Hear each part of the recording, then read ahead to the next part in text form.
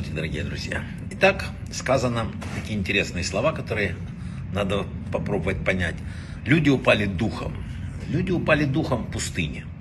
Из-за тягот пути, из-за продолжительности. И начали жаловаться. А этот мир так интересно устроен, что когда что-то нехорошо, то Сатан делает так, что кажется все плохо. Когда что-то немножечко выпадает из нашего как бы предписанного жизненного ритма, все, все катастрофа, трагедия, все э, не так. На самом деле жизнь устроена несколько иначе. Мы не можем идти все время по проторенному пути. Мы не хозяева этой дороги. Надо правильно видеть э, какие-то, что все изменения, они идут сверху. Человек, например, чем занимается человек? Человек ищет счастье. Но что такое счастье? Это же не, не, тоже надо понять. Человек ищет и не может определить. Счастье это когда все есть, это очень проблемная формулировка.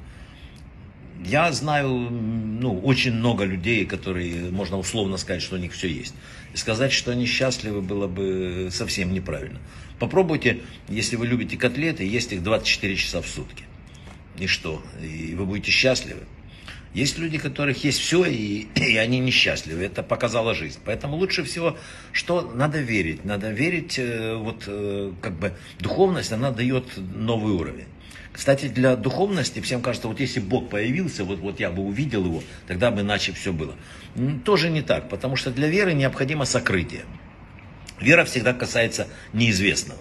Видение э, – это уже часть известного. Да? Например, ты видишь там подъезжающий трамвай. Так?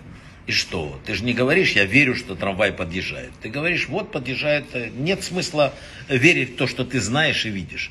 Вера имеет смысл только в отношении неизвестного, не, непознанного, сокрытого. И поэтому это одна из э, причин, по которой мы с вами не видим э, каждый день. Чувствовать можем, понимать можем, а видеть не видим. Когда Бог раскроется до конца, или почти там до конца, то уже все, уже вера перестанет существовать. Уже будет только вот ясное понимание. Знаете, любой человек задает себе когда-нибудь вопрос, зачем он приходит на эту землю? Неужели этот весь мир, это бессмысленная какая-то крутящаяся вот такая карусель, а я маленькая песчинка? Какой-то муравей, который ни на что не влияет. Но ведь Творец-то создал нас человеком, человека, у которого есть пару извилин в голове. Надо найти ответ на этот вопрос. Зачем ты просыпаешься утром? Почему переходишь дорогу? Почему дышишь? Его не так сложно отыскать.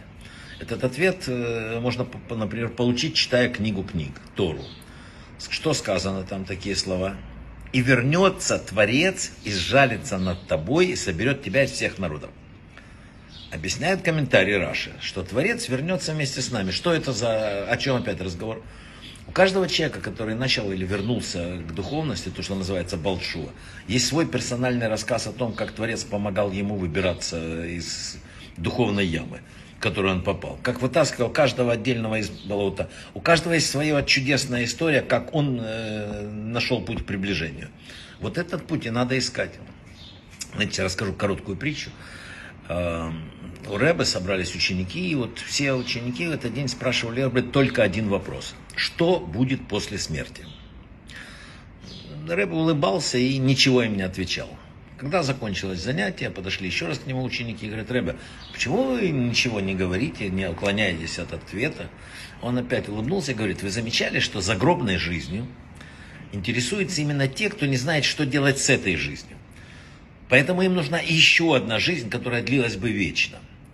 И все-таки говорят э, вот, ученики Рэбе, есть жизнь после смерти или нет? И тогда Рэбе ответил им замечательные слова. Есть ли жизнь до смерти? Вот в чем вопрос. Поэтому мы с вами должны понять, что мы, мы одни считают, что за порогом жизни ничего нет, вторые, что есть. Но вопрос не в этом. Вопрос в том, как ты прожил то, что было до порога. То есть, есть ли жизнь до ухода из этого мира? Это вопрос номер один. Брахавы от слаха.